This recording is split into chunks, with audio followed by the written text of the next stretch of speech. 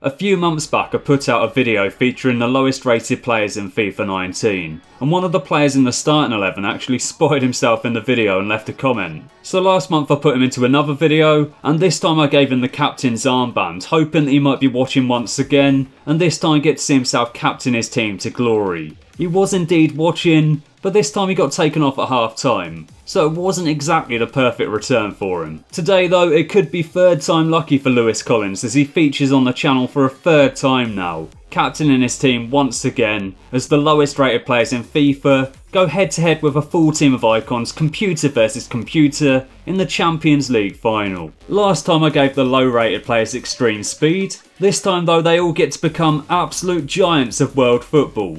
Literally, they're 8 foot 5 whilst the icons are a little bit shorter. The last video picked up over 5,000 likes, which was absolutely insane, and if this one can get anywhere near that once again, then that would honestly be absolutely amazing. Also keep leaving your video suggestions for me in the comment section down below. As I've said before, I do read absolutely every single comment that's left for me, so if you do leave me a comment, then it will be seen. And of course, if you're new to the channel and you do go on to enjoy this video today, then please do stick around and subscribe. Now though, before I go any further, I just want to say a huge thank you to OneFootball for sponsoring today's video. OneFootball is a football news app available for both iOS and Android, covering over 100 different international football leagues and competitions all around the world. You can set up notifications for all of your favourite clubs, competitions and players, and it's a great app for keeping up with things like the latest news, scores, transfers and rumours. Whether you're wanting to check in on the latest news about Lewis Collins, or stay up to date with all of the action in the Champions League, you can do it with OneFootball, receiving the latest updates as and when they happen. Last night, for instance, I didn't get to watch the Spurs game, but I did follow the match on OneFootball as Ajax continued their incredible journey in Europe this season.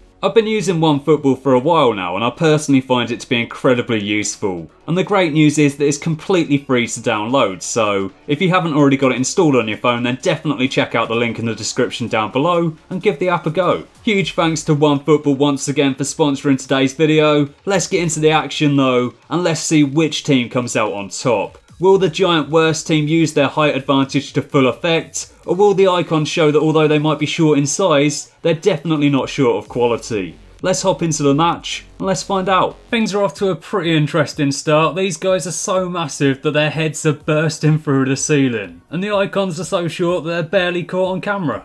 Brilliant. Pele smashes that one out wide for Maradona to run onto. He's going to cross that one over and they've got that covered. Corner kick to come now then. Maradona whips that to the edge of the box to Roberto Carlos and that's a big block from Roberts. It drops here for R9 Ronaldo. In fact, he's R45 Ronaldo today and Wright kicks it out of play. Carlos throws that into Ronaldo and it looked like that guy landed on his head. That looked painful. Collins moves that across to his teammate who whips it forward. Interesting header there from Cantona. Collins loses the ball.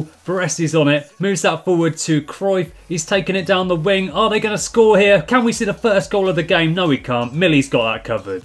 Werman moves that out wide. Nice little dummy there from Roberts. Working his way down the left wing very slowly. Whips it across. Not the best ball in the world. He's going to win the header though and he goes absolutely flying in the process. Maradona moves that through to Gullit, working his way into the box, turns it back and he gets absolutely teabagged and drops down in the box. You're not going to get a penalty for that, mate. Pele's got hold of it on the edge of the box, plays that to Cruyff, gets it back to Pele, lovely ball through there to Gullit, and that's a brilliant save by Millie. Norville clears it to Roberts, and he's looking for support here. He's going to play that forward to Werman. What can he do with this one? He's looking a bit like Bambi on ice at the moment, very awkward on his feet. He does work his way forward though, plays that to Cantona, and this is a good opportunity for the massive worst team, and they found the back of the net. It's 1-0. I'm not going to lie, it didn't exactly look like the best of headers, but it still found the back of the net. They've got a slight height advantage, and they definitely made the most of it there. Number 44 heads it past Yashin, and they've taken the lead. I definitely wasn't expecting that. Here come the icons on the attack once again. Gullit moves that forward to Matthäus, working it down the right wing, whips it across. He's not dealt with that great, and that is nearly an incredible goal from Maradona.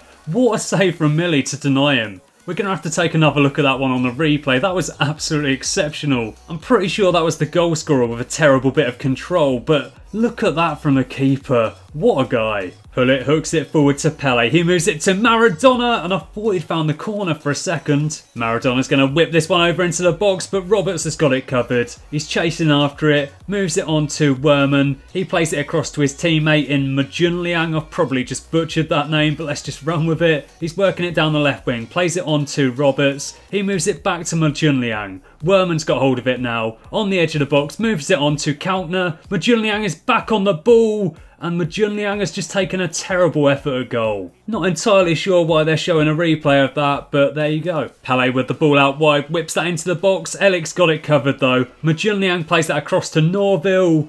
And what's happened there? Is it a penalty? Is it a free kick? I'm pretty sure it's a free kick, but I'm not entirely sure what it's for. That's what it's for apparently. Majunliang nearly took Ronaldo's head off, and he got a free kick out of it. Okay. Cruyff with the ball out wide, and what a slide tackle from Norville Williams. The ball's back with Zanetti now, toying with his man. Moves that across to Pele. What can he do here? Plays that to Cruyff, gets it back to Pele. And that is such an over-dramatic dive from Millie. Here come the icons. Ronaldo plays that through to Pele. And Millie can't stop that one. It's the equaliser just before half-time. And it's now level. It's 1-1. It was fun whilst it lasted, but the icons are probably going to go on to absolutely smash them now. Good team play there. They work it to Pele. And he finds the back of the net. Millie stood no chance whatsoever, and Tiny Pele has bagged himself a goal. So it's level at the break, and the Giant Worst team are going to be pretty pleased with themselves at the moment. They nearly took a lead into the break, not quite though. Pele broke their hearts just before half time, but it's still level, so yeah, probably more than they would have been expecting. Level at the break, everything still to play for in the second half, so let's get into it and let's see if anything changes. Here comes Majunliang working his way down the wing very slowly, whips that across, and that technique was absolutely insane. Slightly less impressive from the replay though when you spot that the ball goes straight through his leg. And then Yashin just kind of stands there. He's not even looking at the ball. He's looking completely the other way. And it just goes straight over his head. So yeah, Matthäus moves it through to Pele and Squire went absolutely flying there. Didn't get anywhere near the ball, but it looked impressive. Squire loses it again. Henry flicks it up to himself. Good technique, but not a great shot. Kauntner plays the ball through to Roberts. This is a very promising opportunity for the Giant Worst team. Roberts whips that over. And they've scored again. It's now 3-1. He's gone absolutely flying. That's to be one of the best celebrations I've ever seen. It was impressive enough when they scored the first goal, but now they've bagged themselves a third, and look at that technique from Kauntner. Brilliant finish there to knock it past Yashin. He dives to his near post. Kauntner takes it the other side of him. And look at that, what a goal. The Icons are looking to get a goal back here. Gullit moves that forward to Zanetti. He's got the ball out wide, whips that one across. Elliot's going to deal with it. And I thought he was going to kick Maradona's head off for a second there. Baggio's away from his man down the right wing. Norville goes in for a slide, bit dangerous, and he didn't quite get to the ball. And now Gullit's found the back of the net. It's 3-2. And now they seem to be stuck together.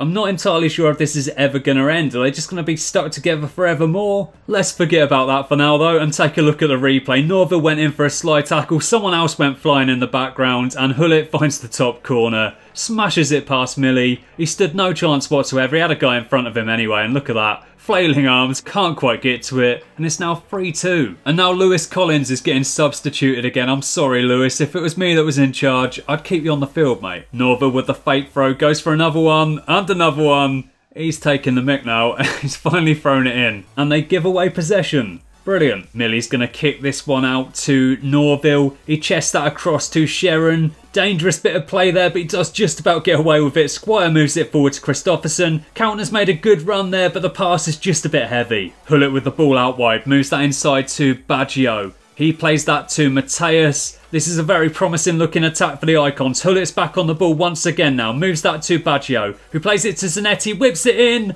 and Henry's taken out the keeper. Desperate times for the Icons, and they're resorting to fouling. That's probably not going to work, lads. So there's not much time left for the Icons at this point. Millie launches it long. He flicks that on. They're back in control of it. They might be able to get one last shot away. Ronaldinho's on the attack. And that is the final whistle. It's not going to happen for them. They're going to lose the game 3 2. And the giant worst team have won the Champions League final. Majunliang, Werman, and Kauntner the goal scorers for them. Pele and Gullit the goal scorers for the Icons. It's not enough though. They've lost the game 3 2. And it's the giant worst team that gets to lift that Champions League trophy. Massive players, massive victory. And somehow the giant worst team have defeated the tiny Icons. I definitely wasn't expecting that that, but there you go. They only had three shots on target throughout the entire match, and they scored every single one of them. Clinical. The Icons meanwhile had 11 shots, 6 of which were on target. They also had 62% possession, weren't able to make that pay though, and ultimately they've lost the Champions League final, with the main man Majunliang picking up the Man of the Match award. Anyway though, thanks for watching, I hope you've enjoyed the video. Leave it a like if you have done. Have an awesome day, and I'll catch you again next time.